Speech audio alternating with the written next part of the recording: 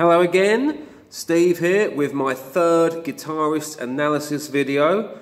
I am particularly excited about today's video because I'm going to be talking about Def Leppard.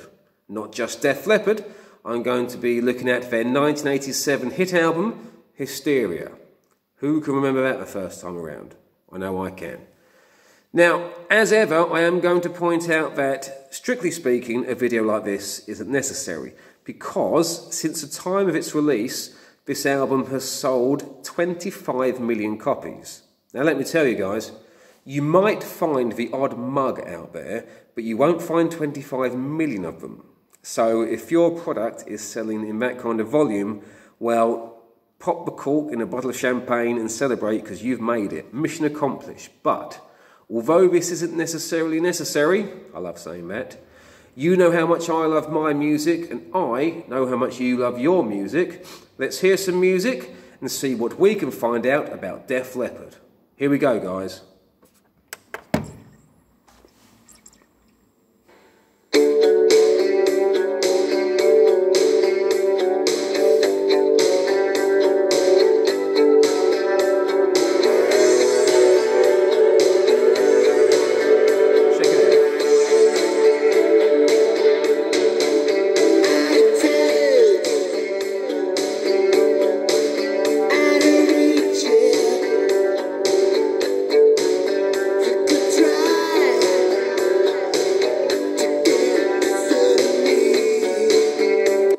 Time for me to wade in perhaps earlier than usual.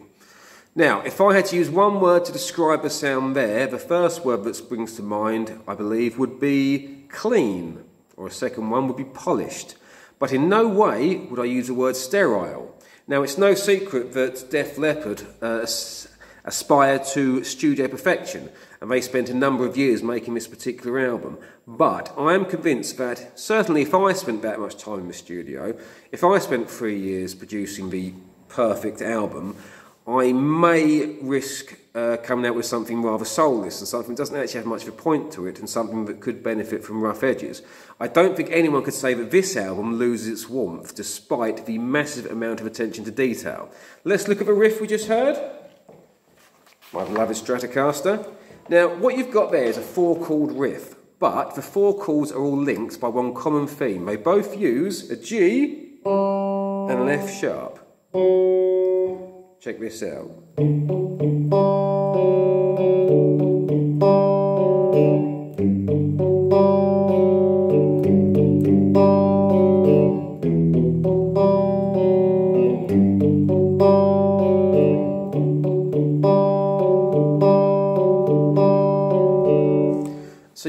Very clean, a very picked part. Somewhat reminiscent, of that riff, I believe, of The Police, Every Breath You Take. Let's not forget that Def Leppard were as much a pop band as a rock band, and no doubt had their ears tuned to the big sounds of the time. The Police were still a very, very big band then, and I find it quite likely that Def Leppard were inspired by that, and perhaps want to try and emulate that sound and appeal to that audience. Nothing wrong with that. Let's see what happens next you.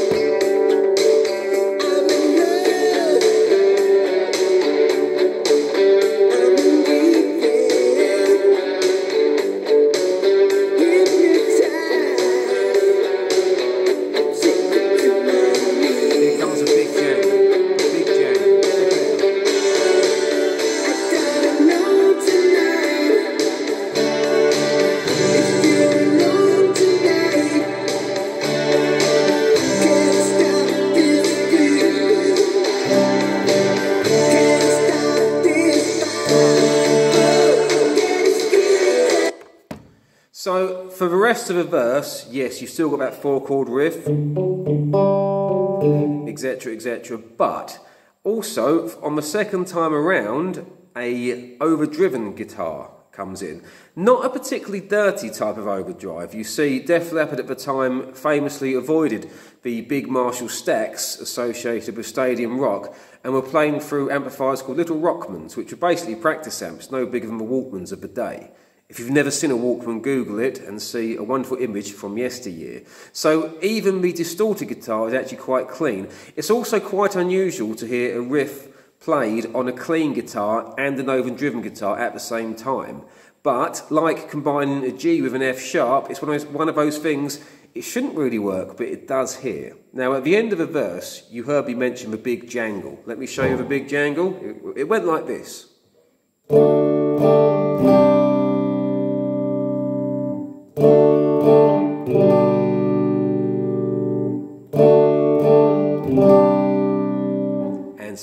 So forth.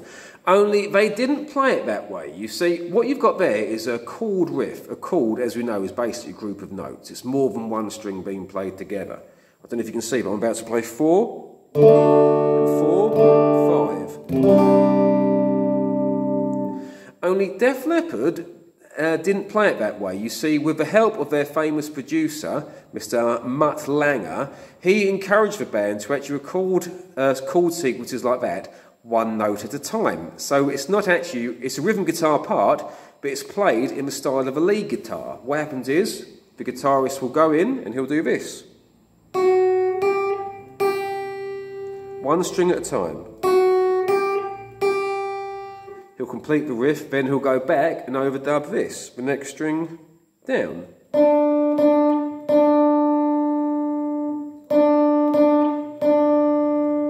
I'm not going to finish it, but then he would go back and go to the third string.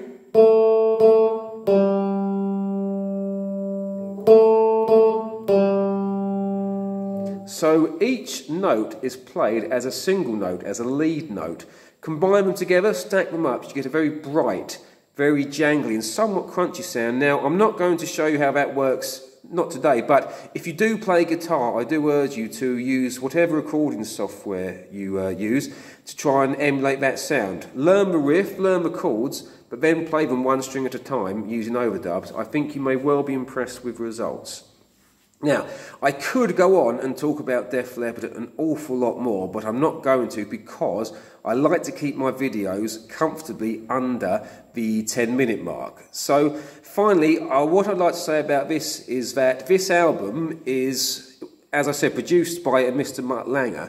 An interesting fact is that if you read the credits, the songs aren't credited to uh, just the five band members, they are in fact credited six ways and Mr. Mutt Lange is in fact uh, credited as a songwriter. So, in quite a radical shift, a big step forward, the band actually realised that the, uh, the excellent Mutt Lange could see the studio as a tool, and they actually saw that as a compositional element. Many bands they see producing and songwriting as two different entities, and they don't like the two to meet too often. But here was a band who actually acknowledged that the studio could be a genuine musical instrument. Now, there's lots more, but like I say, I want to keep it short. But I do urge you to go back and listen to this album again. Listen with headphones on, maybe get your guitars out, play it, maybe recreate that one note at a time riff like I did, and have fun with it. Okay, guys, I'm going to see you next time. It might just be some Oasis, you never know. Take care, guys, and peace out.